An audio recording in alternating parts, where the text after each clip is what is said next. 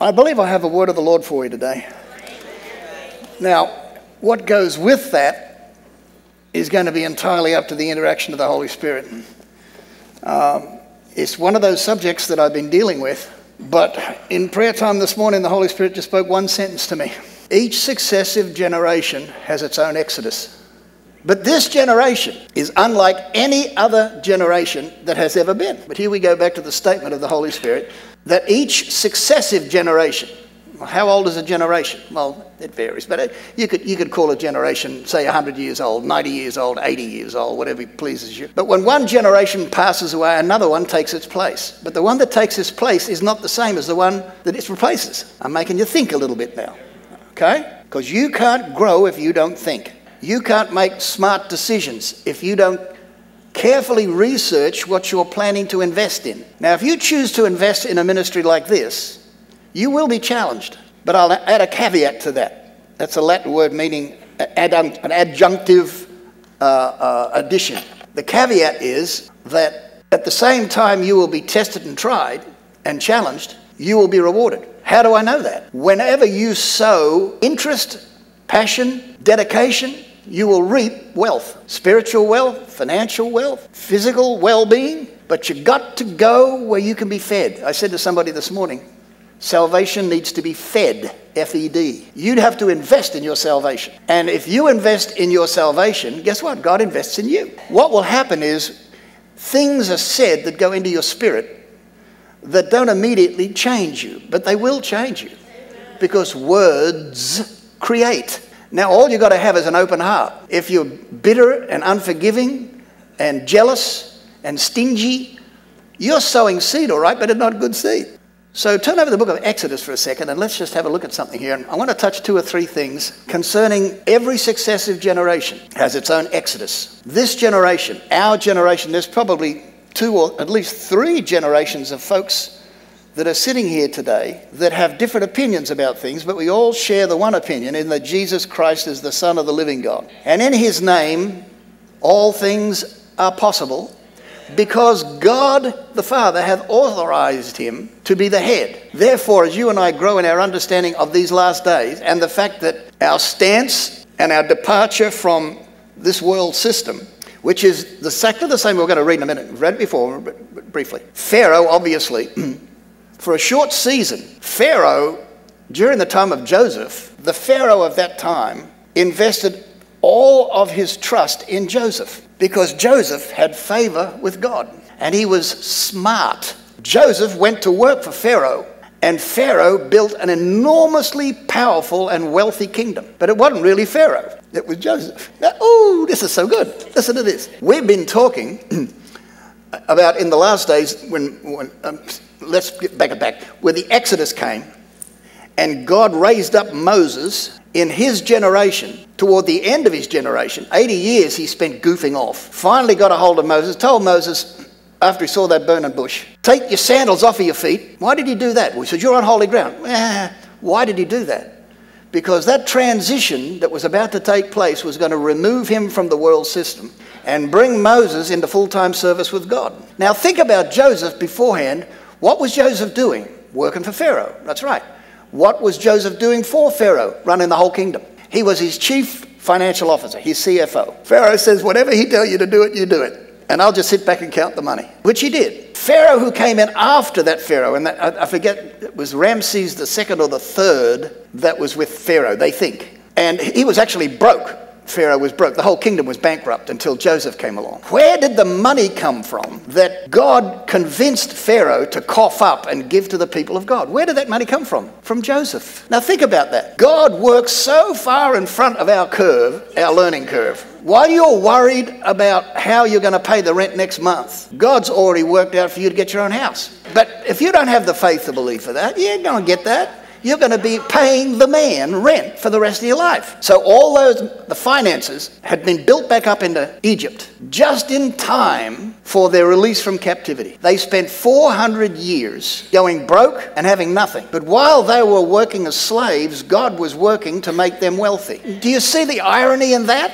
While you think God's doing nothing, He's already providing for the next generation. While they're all complaining about this wicked taskmaster Pharaoh who beats them and doesn't feed them very well and makes them work all hours of the day and night, and they have nothing to show for it except pig's food, basically. While they were complaining and whining, God said, In just a little while, I'm going to send you a deliverer, just like He sent Jesus. I'm going to send you a deliverer. And by the time the deliverer is ready, now look, here, God's working in multiple phases. He's working with a guy, Moses, who killed a man, right? Because he was so enthusiastic about doing the works of the Hebrews working with the Hebrews because he was a Hebrew. All of that time, God's working with Moses, and it took the Lord 80 years to get his attention. But during those 80 years, Pharaoh was building up the money, and Moses was building up his heart for God until he saw the burning bush. He took his sandals off because God said, It's time now for you to be working for me. I want you to take off the trappings of the world and put on the sandals of the shoes of peace. And I want you to go and make peace with Pharaoh. Okay, Lord, but he won't believe me. He said, Doesn't matter, he's not going to do it anyway. Well, what you want me to go, but you don't want me to go? What do you want me to do? He said, I want you to go. But Pharaoh is not going to do what you tell him, even though what I'm telling you to do, you'll tell him. So then he says, Throw your staff down on the ground. And it turns into a snake and then takes it back up again. The snake eats the other, the, with, with the magicians and all that stuff. He copies, first of all, God emulates what the Egyptians are able to do. Then he bests it. So during those testings with the with the with the musician with the musician with the magicians, God says, "Now throw down your." He has experience now because he'd already shown Moses what to do. Throw your rod down, and it became a bigger snake and ate their snake. He said he's going to knock himself out, refusing to let you go. But after I'm finished with him, he'll let you go. Not only that, we're going to read here that he left with all the wealth, all the wealth of Egypt. Now, this is the, this is the irony. Egypt went from bankrupt to a major economic power, then bankrupt again. And why did it go bankrupt? Because God was building it up for you. Now, when I say to you, each generation, each generation has its own exodus, you are of the final generation. Now, after we, we learned about the, the 70 weeks, right? The 69 weeks, which are years six by seven. So we, we, we discovered that between the 69th and the 70th week, Jubilee week, that the Spirit of God is going to move in an entirely different way than He ever has before. But during that one week, that sabbatical week, it says that during that seven year period, the changes that take place on this planet are going to be horrendous. The three and a half years with the breaking up. Now, I explained it to you. If you don't know what it, you know, ask me again and I'll teach it again for you. But the bottom line is the 70th week is elastic. And, and, and it's elastic because things have to take place that depend upon your heart. What happens during Jubilee is that there is a return and a restoration. Now, I taught you that, right? The 70th week represents the final Jubilee prior to the return of the Lord Jesus Christ. Now, we know that the Jubilee period during Jesus' appearance we find in Luke. Let me read that one to you first because it'll help you. When Jesus walks into the temple, picks up the Torah, and begins to read out of the book of Isaiah and quotes in there the prophecy concerning his own coming. To proclaim, it says, the acceptable year of the Lord. The acceptable year of the Lord was, in fact, Jubilee. So when he got up in front of all the scribes and the Pharisees and began to read the, the, the, the, definition or the prophecy in Isaiah, he says, This day is this saying fulfilled in your ears. And he's telling them, I am the Messiah. I am proclaiming the Jubilee. This was the beginning of the period of time during Jesus' ministry, approximately three and a half years. If we read the book of Daniel, it says that after in fact, let me read it for you. Let me read Exodus first, all right? God speaking to Moses says, Speak to the children, this is verse uh, chapter 14. Speak to the children of Israel that they turn and encamp before Pharaoh, before Migdal, and the sea over against Baalphon, or wherever it was. Before it, before it ye shall encamp by the sea. And Pharaoh will say of the children of Israel, They are entangled in the land, the wilderness has shut them in. And I will harden Pharaoh's heart that he will follow after them. Why was he following after them? He wanted his money back. Something very strange happened during Moses' ministry to Pharaoh, and it says in, in Exodus 3 that uh, God had given favor. Chapter 2, verse 25 God looked upon the children of Israel, and God had respect unto them. God was going to getting ready to honor them. And if we back it up to verse 23, it says it came to pass in the process of time the king of Egypt died. Now that's this is this is the guy that was doing bad stuff. And it says, and the king of Egypt died, and the children of Israel sighed by reason of their bondage. This is not Joseph's Pharaoh. This is the latter one. They cried, and their cry came up unto God by reason of the bondage. And God heard their groanings, and God remembered his covenant with Abraham, with Isaac, and with Jacob. And God looked upon the children of Israel and had respect unto them. Hallelujah. Moving on forward. And in chapter 3, he goes on and starts talking here in verse 19 I am sure that the king of Egypt will not let you go, not even by a mighty hand. But I will stretch out my hand and smite Egypt with all my wonders, and after that, in the midst, after that, he will let you go. He'll do what I tell him eventually. And I will give this people favor. Everyone say favor. favor. I will give this people, what people? The Exodus people. Are you listening to me? Up until this time, the Bible says they had 400 years of misery. 400 years which they were paid nothing. But God was paying them a paycheck and putting it in an account for them. And who did he let to manage the account? Egypt and Pharaoh. In this case, we see the, the similitude here between God making preparation in advance for the people of God in this generation, because we are now approaching the end of the 70th week, or the beginning of the 70th week. At the beginning of that 70th week, that's when we're going to find Antichrist being exposed. That's where we're going to find the, the allegiance of the nations of the foreign nations all come together with an economy that is three to four times more powerful than the United States. The only thing that's holding Europe back, the European nations back, A, they don't have a universal currency. Do some Googling, you'll discover that they do now. And it's not been released yet, but it's called a euro something. It's a special euro. Anybody seen that? That's going to be the universal currency of the entire globe. What's stopping them from doing that right now? Because the Federal Reserve now has the right to print US dollars. We are the reserve currency, and because of that, we are not tangibly bankrupt, but we are bankrupt. The, the United States dollar is worth like 15 cents now. When, when Nixon got off the gold standard, everything went down the tubes. You've got to get the big picture now because now we are approaching, if I'm right, and I believe I am, and if you go back to Daniel chapter 7 and Daniel chapter 9, and take those years back into the time when Jesus was cut off, but not of himself. That means he was crucified. And if you back those timetables back from the time that uh, the temple was rebuilt, uh, you'll come to the number plus or minus 28 AD. The cutting off of Jesus Christ was in his late, uh, late 20s or early 30s. During that period of time, a lot of things have to change. And one of those things that's going to change is the euro dollar is going to come under the, they're going to call it, they don't have a name for it anyway, it's, it's a euro something. By that time that comes in, the only thing that's holding them back is the United States can print much more money as it wants. And right now, Trump is doing a great job about building up our reserves, just like Pharaoh did, building up our reserves. When the United States takes a reverse, and it will, then Europe is going to come out with its euro dollar and it's going to do all it can now to bankrupt the United States. Because while the United States is still in a position of authority and power and economic substance, it will resist any attempt to take over the globe. When you see that peace contract signed, and it will be, when you see that peace contract signed, put a big circle around seven years because that's when it starts. During three and a half years, when that, when that period of peace is, is, is, is broken, the true nature of the Antichrist spirit is going to come out. And when it comes out, one of its major adversaries is going to be the United States. Who will be the, the Antichrist's eventual uh, nemesis? Interestingly enough, Israel. Israel will eventually reject Antichrist. Did you know that? Do you know when it's going to happen? Pre trib, mid trib, post trib. Post trib. The time of the coming of the Lord Jesus Christ will signal the end of tribulation. Now, the Bible says, and I'm just giving you an idea now, who's coming out of Egypt? Egypt's a type of the world system, right?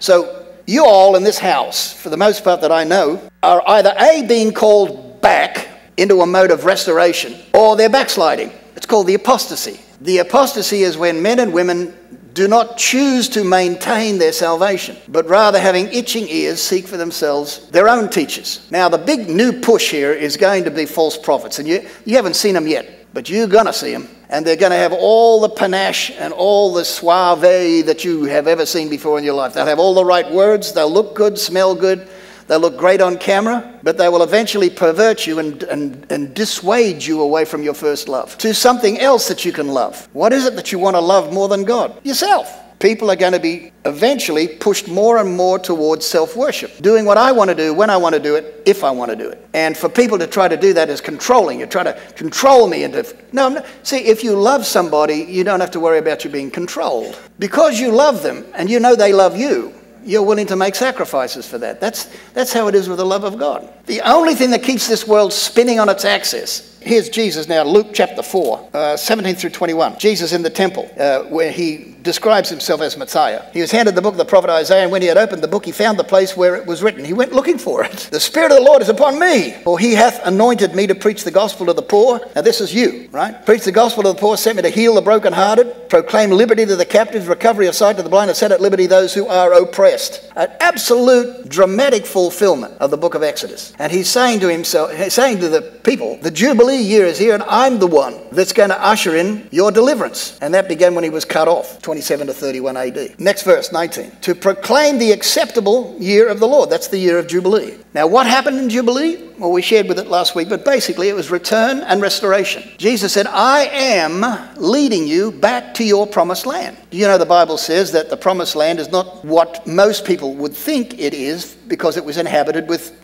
Canaanites, Hittites, Perizzites, all those ites were in there. And giants were in the land, men who had uh, genetic issues, of which the sons of Gath were there, the, the giants that David fought, one of them had five sons. They're all giants, big people. And Jesus was saying, from this day on, look to me because I'm going to take you back to your promised land. Now, we understand the promised land to be Israel per se, but when Jesus comes back to return us to the promised land, it won't be just Israel. It will be Jerusalem. And the book of Revelation says that the time is coming when the new Jerusalem will descend from heaven with a shout. Now, that's referring to Jesus as well as a jubilee, but at the same time, it's saying that the physical inhabitants of Jerusalem will be known as the church. And eventually, a thousand years of peace will rule and reign. The end of that period, of course, Jesus Christ hands the kingdom intact and in power back to the Father. Now, I want you to remember these scriptures and write them down because people are going to ask you this. You're going to start seeing more and more of the Christian TV quoting Daniel, quoting because in the hearts of these men and women, there's a knowledge that's beginning to percolate that lets people know, look up, your redemption's coming. Messiah is coming just as sure as Moses came, Jesus came, he's coming again. But before he comes again, certain things have to take place. When Jesus talks about the restoration of Jubilee, he's, he's, he's speaking there specifically about Israel but more importantly, Jerusalem. And that what eventually will happen, it says in Acts that the fullness of the Gentiles have to come in. That's you and me, unless you have Jewish blood in you.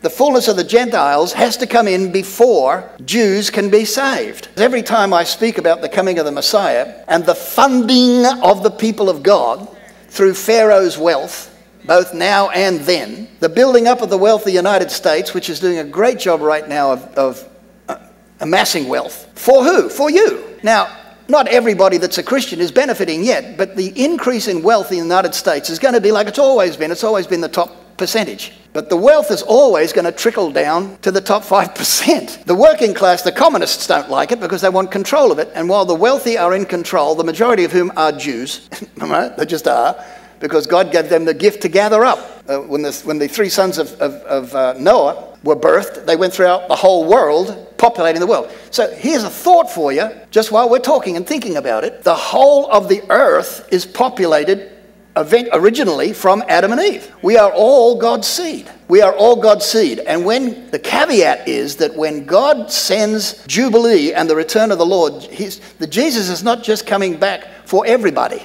He's coming back for his people. Now, we could say, well, we all have an inheritance in, the, in Israel. Well, we really do if you go back to the original parents, Adam and Eve. But your salvation is based not on your connection with Israel. Your salvation is connected directly to Yeshua HaMashiach. So, those of us who pursue Jubilee, we are pursuing the Son of God. We are pursuing Yeshua. And as we pursue Yeshua, we have to follow him all the way out from Egypt, through the wilderness, into the promised land, and ultimately into Jerusalem, I'm metaphorically speaking. You have to stay with Yeshua the whole journey. So, when we left Egypt, not everybody that left Egypt made it to the promised land. Good God Almighty, Moses didn't even make it, you know, because Moses was a bit of a roughneck just like Peter. A little bit rough around the edges, a little bit serrated, but serrated blades cut pretty good. So iron sharpeneth iron. So the long the rougher ones stay connected to Yeshua, the, the, the sharper we get. And we don't have to hack people up to get to their heart. But what does cut the deepest is the sharpest. So we find a situation now where the people of God have to prepare themselves to go the whole way with God. Salvation is a contract between God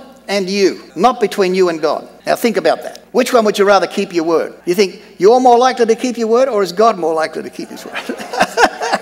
That's what keeps you ticking. So the Lord says the only thing you have to do to make it in the promised land is follow the instructions of the prophet, if he really is one, right? Follow his instructions, and you'll not lack for food, you'll not lack for drink. In fact, the psalmist says, the shoes didn't even wear out on their feet, and there was not one sickly one amongst them. When the majority of those folks came out, they were quite happy to follow Moses out into the wilderness.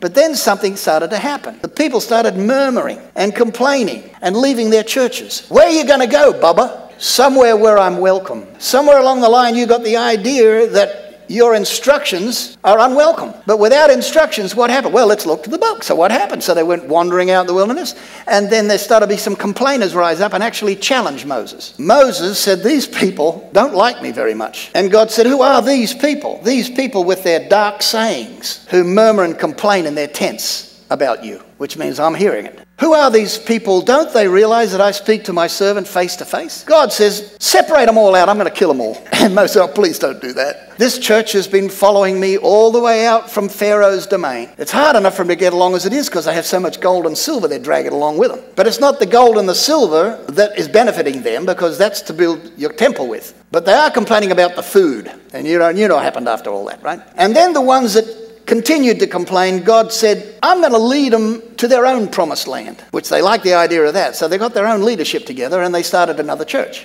in the wilderness. They were in there for 40 years. And God says, Leave them out there until they all drop dead. Then I'm going to take the ones that stayed faithful to me and have allowed me to lead them all the way out from Egypt, and I will get them into the promised land. Maybe not by Moses, because I've got to spank him, because he didn't do the right thing. But we find out later Moses is appearing up on the mount he made it just fine into the presence of God. But God said to him, You'll not step into the promised land. So that's how I know that the presence of God is not the promised land. The presence of God has always been and always will be Jerusalem. Here's the major difference that as we, the Gentiles, move along in this journey of faith until the evolution of that final seven year period, and we understand how that operates, and the revealing of Antichrist, the timing for that departure is already here. We're already on the journey. But got to remember this, saints. Your journey is an individual one. Your journey is your journey.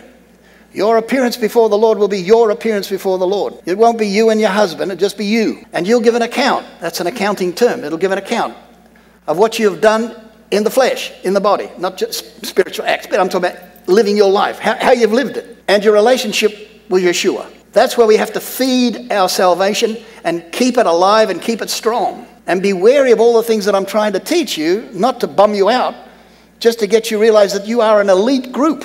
You are an elite group, not, not elite from an intellectual point of view, but an elite from a spiritual perspective. You are a royal priesthood, a chosen generation, a chosen generation. And because of that, you have to understand what's coming on the earth and how to handle it. And we shared with you a number of scriptures, two in particular, one in Luke, the other in Matthew, which says the sight of the Son of Man in the clouds, coming in the clouds, will not happen until after the tribulation has almost run its course. Why do we say almost run its course? Because even though I believe that we will go through hardship, trial, and tribulation, such as never the world has seen, Jesus said. But for the elect's sake, it's going to be cut short. Because if it were possible, even you, the elect, that's the, that's the body of Christ, the elected, the body of Christ, even you could be deceived and perish. So I'm going to cut that timing short so that those of you who have been faithful to the end will be rewarded and honored into the kingdom. And when the, when the Lord appears in the clouds, it says that we'll be caught up together to meet him in the clouds. Because what's happening on the earth is, is pretty bad, right? So he is going to rapture you up if you want to. But the rapture is not to remove you as much as it is to preserve you. You see what I'm saying? Because by that point, there's a lot of things coming on the earth and amongst the body of Christ, if we are fortunate enough to be alive when He comes, that we're going to be about the Father's business. Vis a vis, what are we going to need? Strong faith, resilience, teachability, and money. Because you're going to have to buy stuff, right? So, what I'm trying to tell you is that the world system and the tribulation are going to make it extremely difficult for you to make a living. Three and a half years into that tribula- in, in, that uh, agreement period with Antichrist, you've got to remember it's not just Antichrist, it's the system. And he's, he's got some of the most powerful countries in the world gathered together under his leadership. Because, amongst other things, he's going to be a great politician, a great statesman.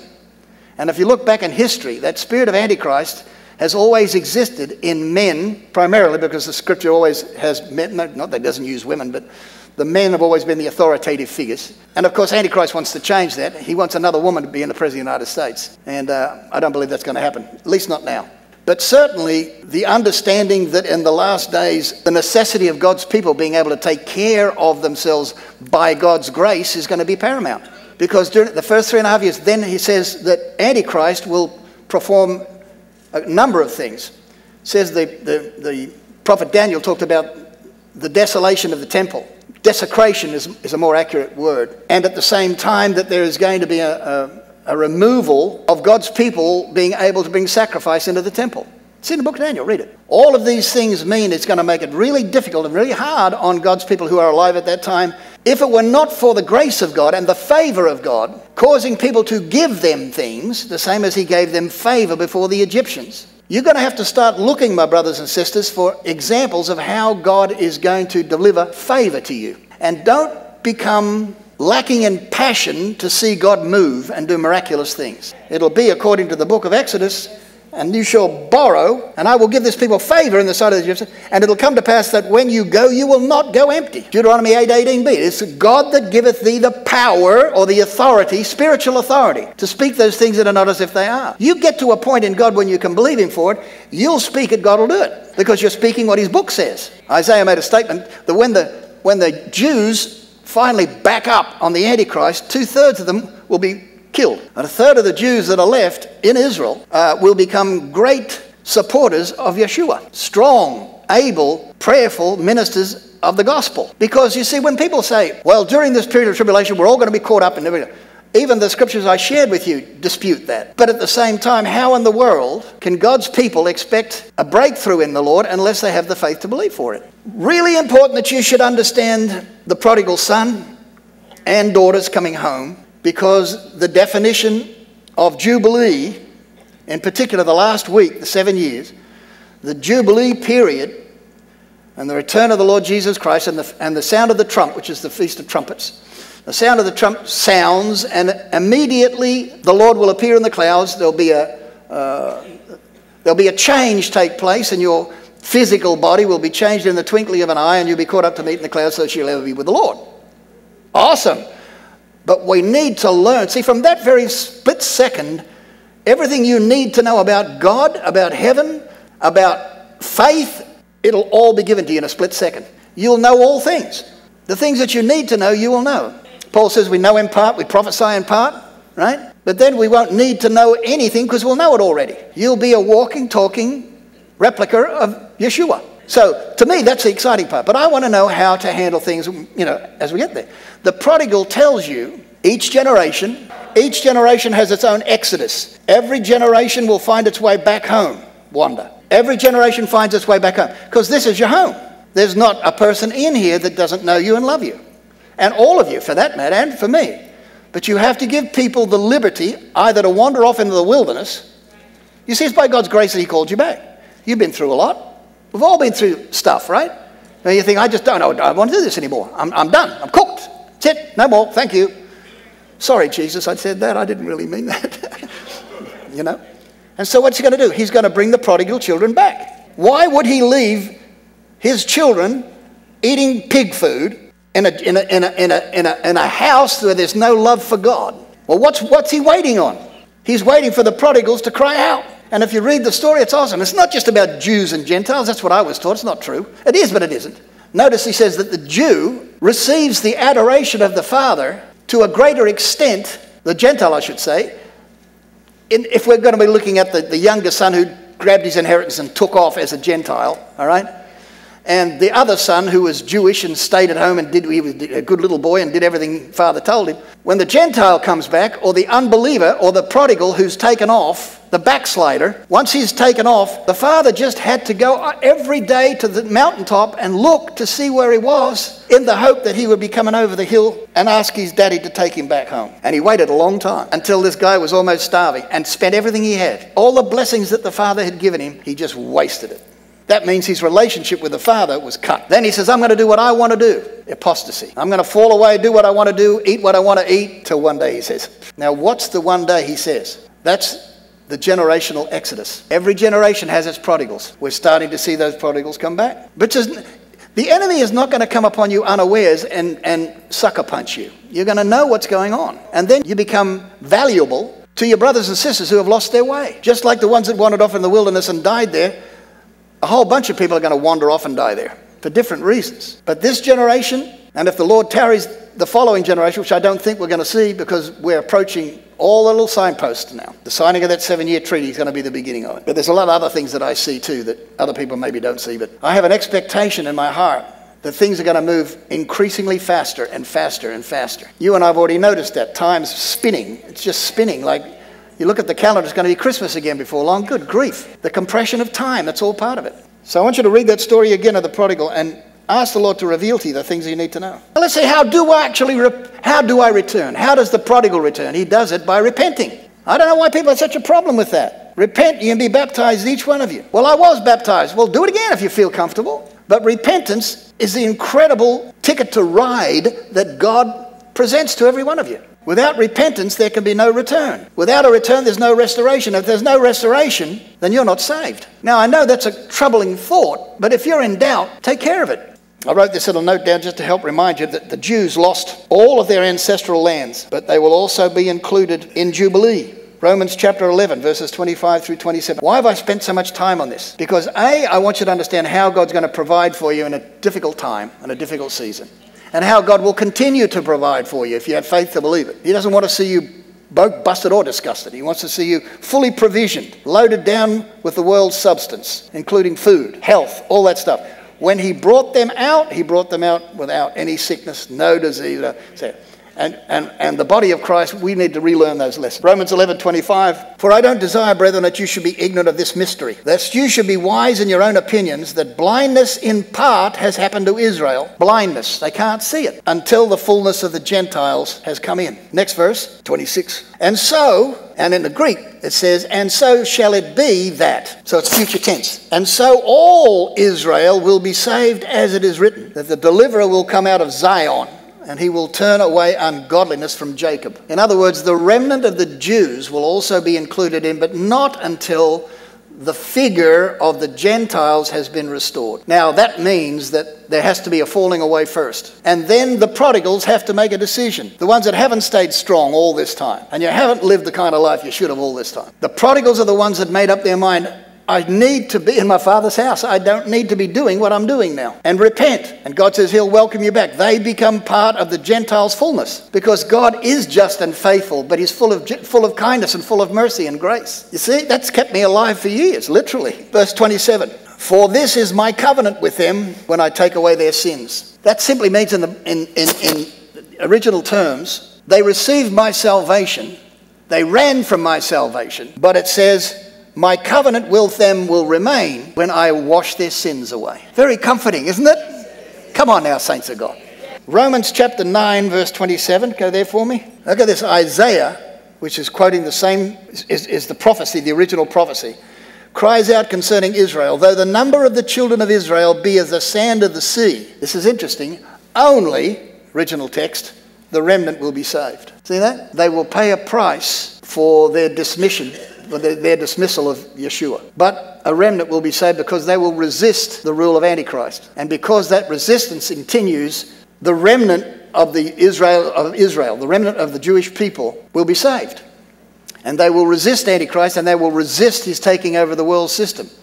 That resistance will invoke those other powers to come down and invade Israel. All of these things are very close. Some of the original countries, and I mentioned to you one in particular, uh, Iran, which is latter day Persia, the Medes and the Persians. This is what's left over of the country of Iran. Now look what's happened to them. However, Peter says that in the last days, just as Noah was rescued from the flood waters, that this earth will never be destroyed against by flood, but it'll be by fire. And the only thing that causes the atmosphere to catch on fire is nuclear, uh, thermonuclear weapons, which actually turn the atmosphere into flame. It sets on fire the actual atmosphere. But be encouraged, there's a new heavens and a new earth. I've got to read you this. You're going to love this. The Jews rejecting Antichrist is found in Revelation chapter 12, if you want to look at that, verses 13 through 17. Now, when the dragon saw that he had been cast to the earth, he persecuted the woman who gave birth to the male child. Who was that? Capital M male, capital C child. Who was that? Got to be Jesus, doesn't it? And it says he, the Antichrist began to persecute Israel. But the woman was given two wings of a great eagle that she might fly into the wilderness to her place, where she is nourished for a time, times, and half a time from the presence of the serpent. This is the breaking of the covenant, and then the, the people of Israel flee from the persecution of Antichrist. Let's have another look. Revelation chapter 22,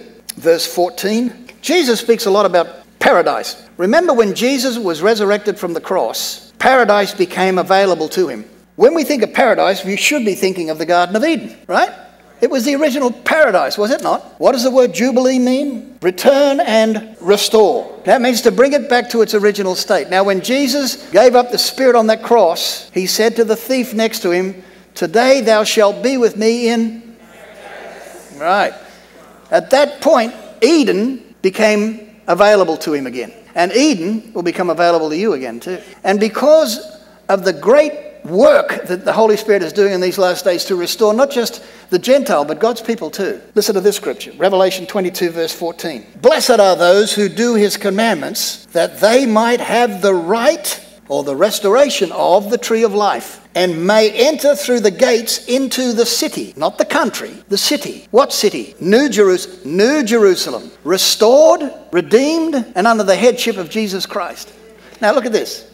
Next verse. Be, uh, but outside are the dogs and the sorcerers, the sexually immoral, the murderers, idolaters, uh, uh, whoever loves and practices a lie. Now, we're talking about people when you read that initially, you think, oh, people who are liars. But it means more than that. Who practices a lie are ones that practice pagan culture, the ones that have departed from the living God and are now serving numerous other gods. That's practicing a lie because they are not gods. They are humans that have died. Jesus is Messiah who is alive. I want to try to help you think more pragmatically, that's just a word which means connected to reality, pragmatically connected to Jesus rather than just a churchgoer. And the reason I'm doing all this now is just to prepare your hearts and your mind because when you see that news headline kick up, today President Trump has announced the initial organization or the initial uh, drafting of a peace agreement between Palestine.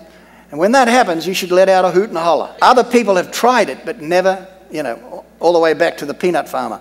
They've all tried it and hadn't come up with it. But when you see that agreement being signed, pay very careful attention to, to who was at that meeting. In particular, look at the major powers in Europe, and in particular, Germany and France, particularly France. The current leader of France, I believe, is going to have particular connection to that meeting and to the one agenda which he's been pushing very hard lately, which is the birthing of the Antichrist Union, the European Union. All of those things have to come into account that we've talked about today. Financially, by the euro, the new euro, and the collapse of the US dollar, which is a ways off, but not that far.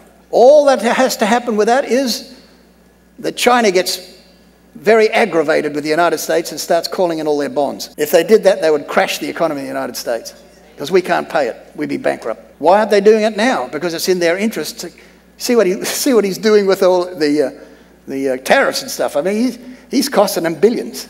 But it's really all the money. See, again, this is the funding of God's people. Think about it. What's going on in the world to make the transference of wealth? It's amazing. Right now, it's happening inter-country. The next step is going to start flowing into your pockets. It's going to flow into your pockets because you are going to take the kingdom of God by violence. I tell you, I don't want to be in an environment where I'm not continually provoked to acts of violence for God. Now, that word doesn't mean killing, maiming, destroying. It means doing what's necessary to proclaim the liberty wherein Christ has set me free. See, the four guys that picked him up on a bed and tore the roof off the guy's house. And when they lowered him down in this bed, and Jesus proclaimed deliverance over him, rewarding the faith of his friends, and an act of apparent violence being rewarded by deliverance and by healing. The same blessings await you and I, and I've put them to the test over 37 years.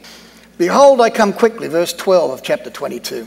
Behold, I come quickly, and my reward is with me. Redeem and restore, to give every man, every man, according to his work, so shall it be. I am the Alpha and the Omega, the beginning and the end, the first and the last. Blessed are they that do his commandments, for they have the right to the tree of life may enter through the gates of the city. For without are dogs and sorcerers, whoremongers, murderers, idolaters, whoever loveth and maketh a lie. I, Jesus, have sent my angel to testify these things to you. In the churches I am the root and the offspring of David, the bright and the morning star. And the Spirit and the bride say, Come, and let him that heareth say, Come, and let him that is athirst come. Whoever will, let him freely take the water of life. For I testify unto every man that heareth the words of the prophecy of this book, if any man shall add to these words, God shall add unto him the plagues that are written in it. And if any man shall take away from the words of this book and of this prophecy, God shall take away his part out of the book of life, out of the holy city, and from the things which are written in this book. He which testifieth these things saith, Surely I come quickly, saith the Lord, even so come. Lord Jesus, the grace of our Lord Jesus Christ be with you all.